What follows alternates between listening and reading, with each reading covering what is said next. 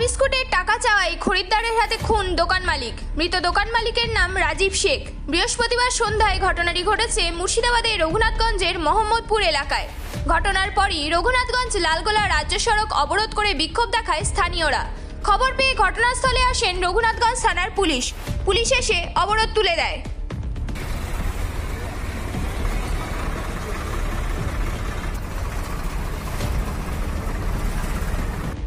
স্থানীয় সূত্রে জানা যায়, রাজীবের দোকানে চা বিস্কুট খেতে আসেন স্থানীয় মোহাম্মদপুরের বাসিন্দা মুন্না খান।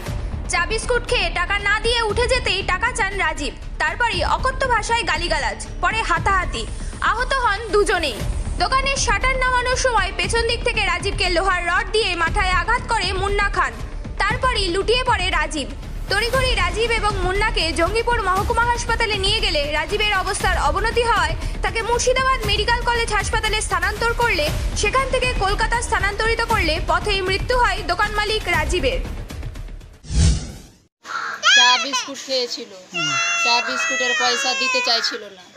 চা বিস্কুট এমনি ফ্রিতে খেতে, খেয়ে বাড়িয়ে গেছিল আমার আমার আমার ভাই বলে কি, চা বিস্কুটের পয়সাটা পয়সাটা দিয়ে যাও তখন আমার ভাইয়ের দোকানপত্র সব বয়মকে ধাক্কা মেরে ফেলে দেয়, ভাঙচুর করে দেয়।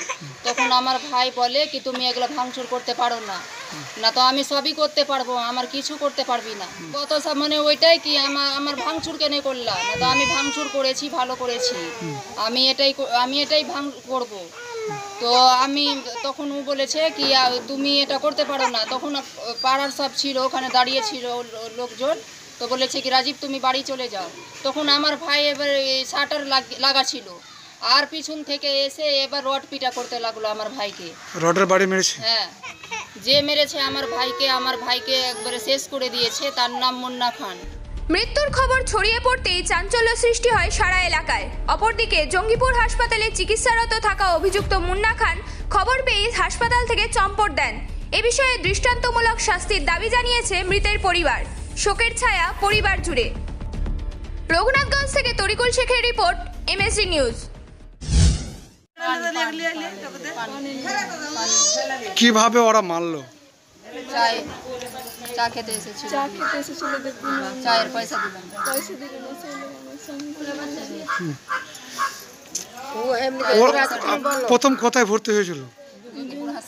তারপরে? চলে গেল ট্রান্সফার করল রাত বারোটায় ইয়াতে